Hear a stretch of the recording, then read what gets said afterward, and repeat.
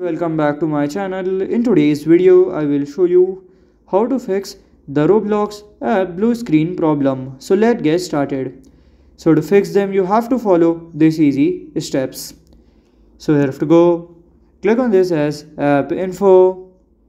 Then here you can just go to the storage, do as clear cache. Then you have to open it again and then it would be fixed so this is how to fix the roblox app blue screen problem. And if you find this video helpful make sure you like subscribe and share the video. Thank you for your watching